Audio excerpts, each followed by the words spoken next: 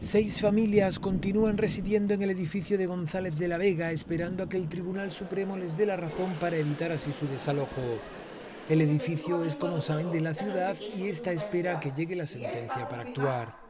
Bueno, esperemos a la sentencia del Tribunal Supremo y esperemos que podamos llegar a un acuerdo con ellos, porque en ningún caso la idea es dejar a ninguna familia sin, un techo y sin una vivienda donde estar. Y es que desde el gobierno local se les ha ofrecido varias alternativas habitacionales para que no se queden en la calle.